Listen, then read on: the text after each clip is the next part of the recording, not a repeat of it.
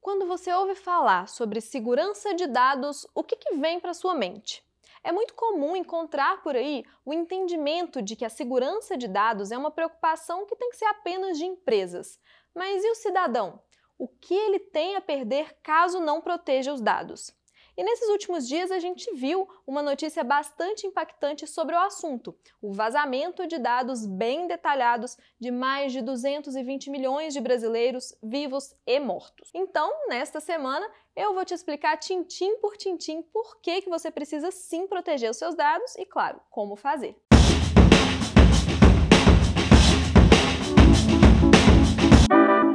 Então vamos lá.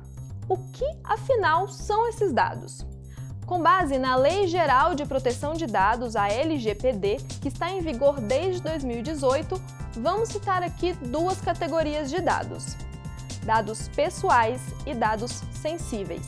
Dados pessoais são aqueles que permitem a identificação de alguém: nome, CPF, RG, filiação, data de nascimento, entre outros.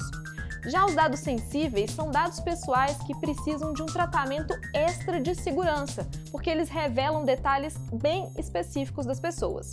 Eles podem ser origem racial ou étnica, religião, opiniões políticas, filiação sindical, questões genéticas, biométricas e sobre a saúde ou até a vida sexual de uma pessoa. Mas afinal, como esses dados vão parar nas mãos de empresas? O advogado e conselheiro da OAB Minas, Luiz Felipe Freire, que é especialista na LGPD, me explicou que os dados pessoais são fornecidos por nós mesmos, quando a gente faz uma compra ou quando a gente contrata um serviço. Esses dados são armazenados pelas empresas e é direito do cidadão saber o que será feito com ele.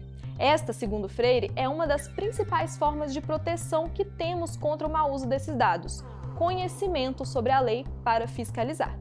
Então vamos lá. O que você precisa saber sobre a lei para se proteger? Quando fornecer seus dados em qualquer situação, pode ser naquela ida à padaria ou à farmácia, você tem o direito de ser informado sobre o destino desses dados.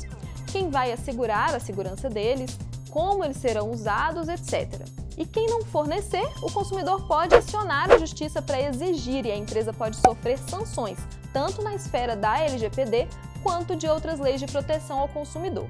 As empresas não podem compartilhar, seja vender ou emprestar esses dados a ninguém sem a sua autorização. Em caso de vazamento de dados, como o que aconteceu no mês passado, não há muito o que fazer para reverter esse quadro de vazamento, mas algumas medidas de proteção podem ser tomadas. Os dados que foram divulgados podem servir de base para golpes que vão roubar dados ainda mais sensíveis e até dinheiro. Então, quem teve RG e CPF vazados, por exemplo, pode fazer um boletim de ocorrência. Segundo Freire, esse procedimento ajuda a contestar eventuais compras ou contas que tenham sido feitas usando seus dados. Também é importante alterar as senhas na internet. E se você se sentir lesado pelo vazamento, pode procurar os seus direitos. Se você passou a receber muitas ligações inadequadas, se teve alguma conta invadida, pode acionar os responsáveis pelo vazamento na justiça. E quem não sofreu nenhum tipo de perturbação desse tipo, mas teve os dados divulgados, também tem direito de entrar com uma ação dependendo do que foi vazado. A LGPD prevê uma multa de até 2% do faturamento da empresa ou até 50 milhões de reais.